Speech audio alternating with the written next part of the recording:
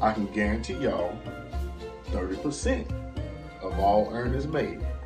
Now you know Cornbread Willie got to get his. No, no, that ain't right. That that's not right. No. I I don't agree. I don't agree. This this this this, this right here is, is a very very tough choice. I don't want to hear that shit you talking. I goddamn because you a goddamn crook. But with no promotion. But you'll get your money because you're gonna be performing anywhere. You feel me? You, you sound shady, man. I don't know.